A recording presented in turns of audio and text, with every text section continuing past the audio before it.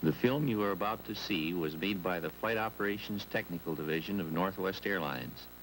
In it, you will see takeoff and landing performance tests on the 727-251, the Northwest Airlines version of the stretched Boeing 727.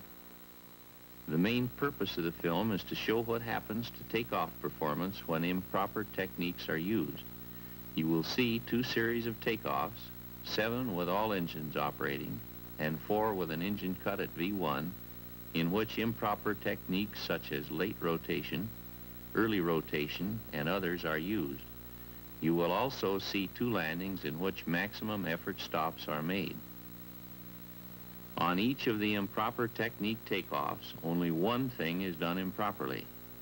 In the late rotation case, for example, rotation is at the proper rate and to the proper attitude. The pictures thus do not show the effects of multiple errors, such as rotating both too late and too slowly. The tests were flown from runway 27 at Billings, Montana, with the airplane initially loaded to 140,000 pounds.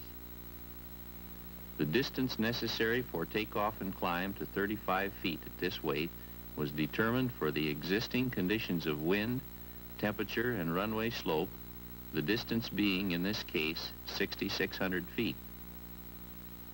For all but the first takeoff, the weight was less than the initial 140,000 pounds because of fuel burn-off.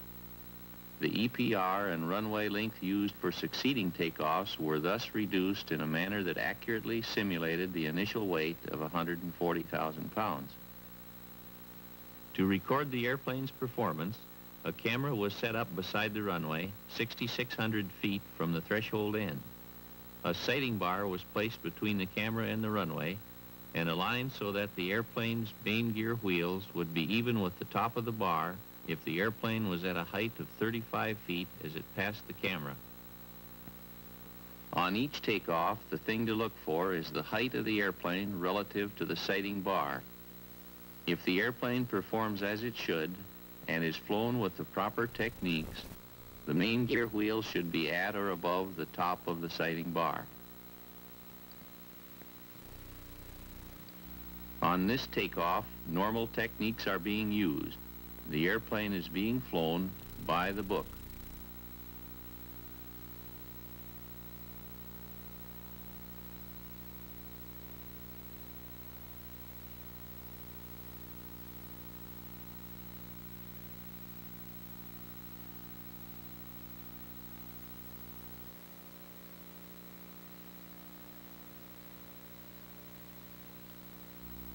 In this case, normal techniques are used except that rotation is started four knots late.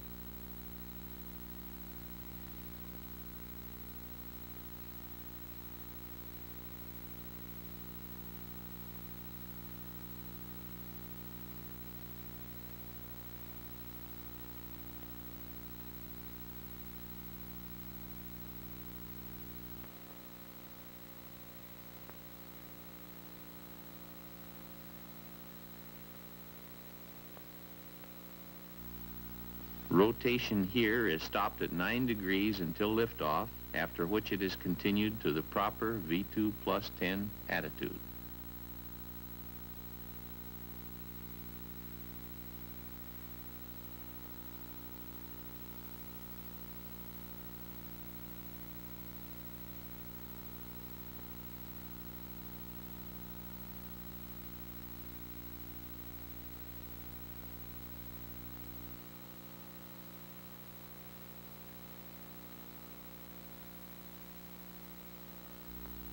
Rotation on this takeoff was slow, about one degree per second, or roughly one half the proper rate.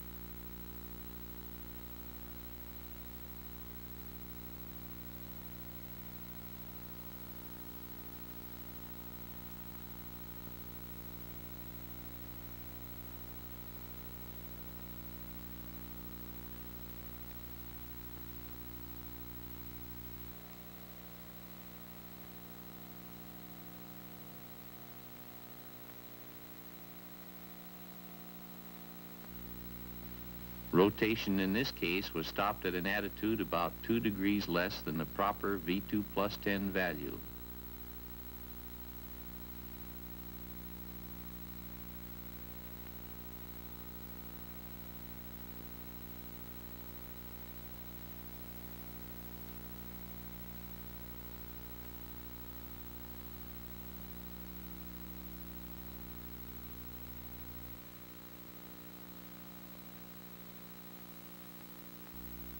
Here, rotation is started early, about 20 knots below the proper value.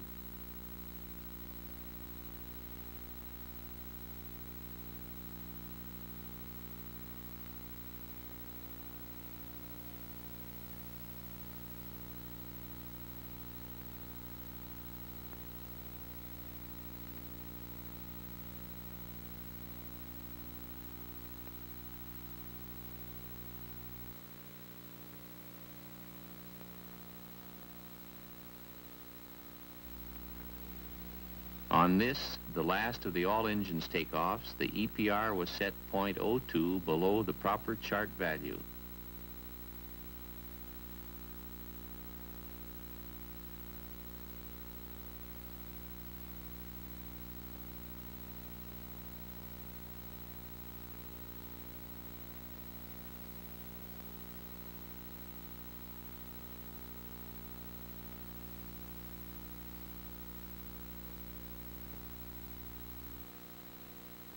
In the next series of four takeoffs, the center engine is cut abruptly at V1 in every case.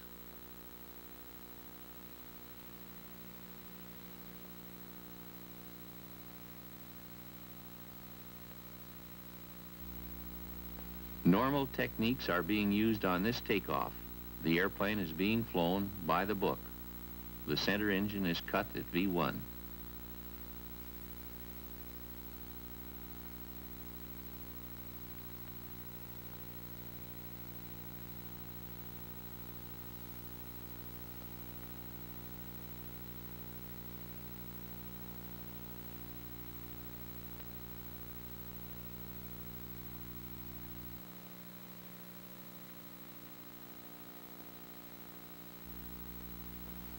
Center engine cut at V1, rotation started four knots late.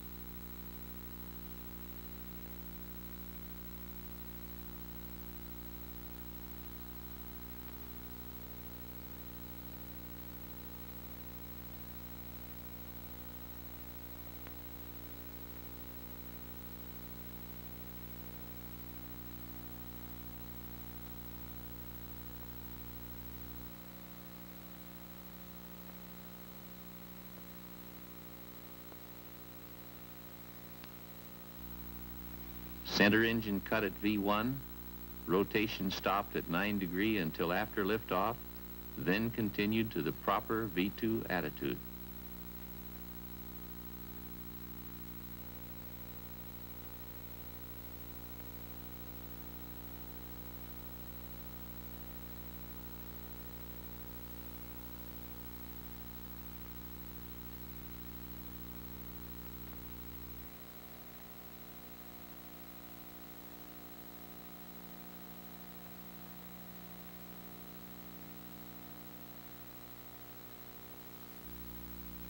On this, the last of the engine out takeoffs, the airplane was rotated to a pitch attitude about two degrees less than the proper V2 attitude.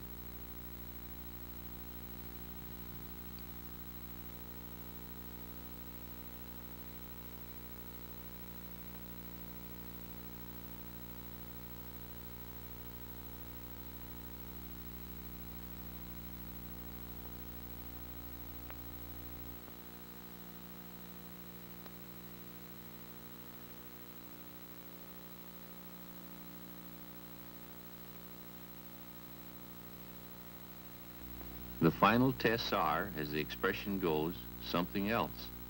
They show maximum effort stops on landing, but without the use of reversing. In both cases, main gear touchdown is 1,000 feet beyond the threshold. For the approach to touchdown, normal techniques are being used except for a rather shocking fact. The threshold is crossed at threshold speed. Immediately following main gear touchdown, the speed brakes were extended and maximum braking was applied as soon as the nose gear touched down. Note the stopping position relative to the 2,000-foot runway markers. The smoke coming from the nose wheel does not indicate excessive heat, but rather that this is the first time the nose wheel brakes have ever been used. Nose wheel braking does not occur with a relatively limited pedal depression used on normal landings. the brakes were new and the smoke is due to the primer material burning off.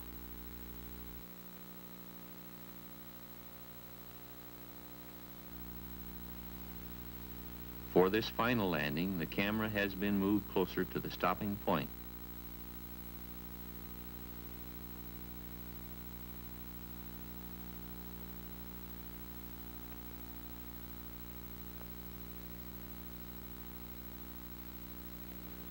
Threshold speed.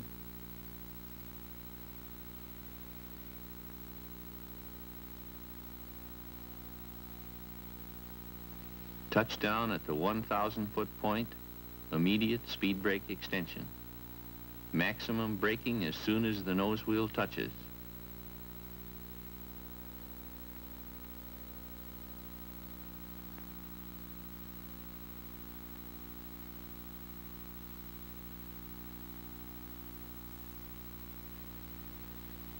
Note that the stop is completed about even with the 2,000 foot markers, which are actually 2,300 feet from the threshold end of the runway. Total stopping distance in both cases was approximately 2,300 feet, 1,000 feet of air distance plus 1,300 feet of ground distance. The following scenes summarize performance in the takeoff tests you have already seen. The first seven are the all engines takeoffs, the last four the engine out takeoffs. Normal rotation.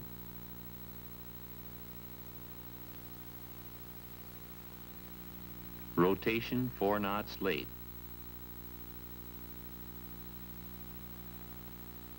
Rotation to 9 degrees until liftoff. Slow rotation.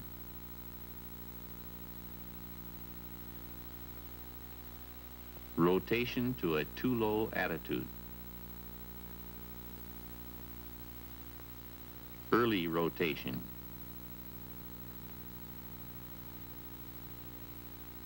EPR set 0.02 low. Engine out at V1, normal rotation. Engine out at V1, rotation 4 knots late. Engine out at V1, rotation to 9 degrees until liftoff. Engine out at V1, rotation to a too low attitude. Now that you have seen these tests, these things should be apparent.